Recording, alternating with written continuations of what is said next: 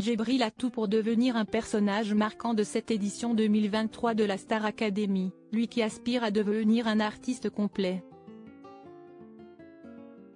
Sa spontanéité, sa sensibilité et son professionnalisme devraient aussi plaire aux téléspectateurs.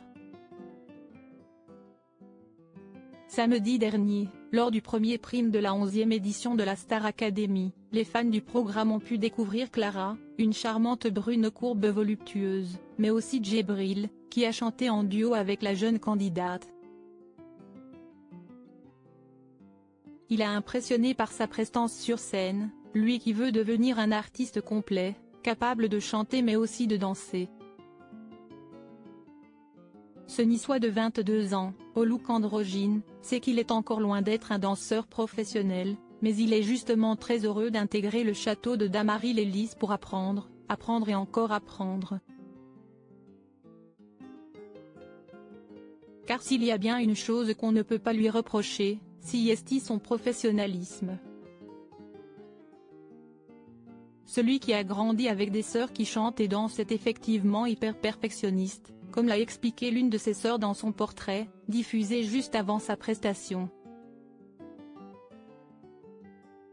Il sait exactement où il veut aller, et je le trouve super doué, a-t-elle ajouté. Djibril semble donc avoir aucune faille, lui qui pense pouvoir aller loin dans la compétition, et pourquoi pas gagner.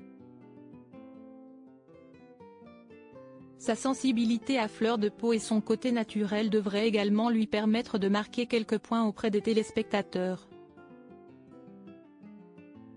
Mais il a pourtant quelques craintes concernant cette nouvelle aventure qu'il s'apprête à vivre, la vie en communauté peut me faire peur.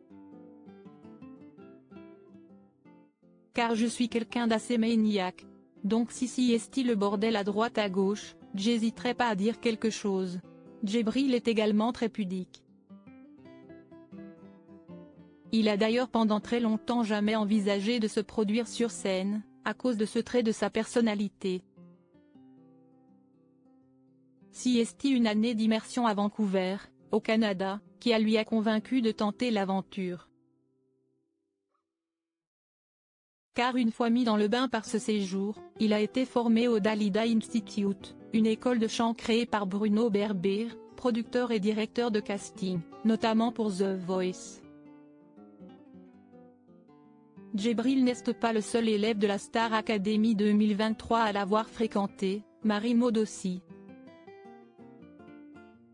Tout s'est ensuite accéléré pour ce jeune artiste, qui vient donc de rejoindre de la Star Academy avec l'ambition de faire un carton et de défier d'autres candidats qui font déjà beaucoup parler d'eux comme Julien ou Margot.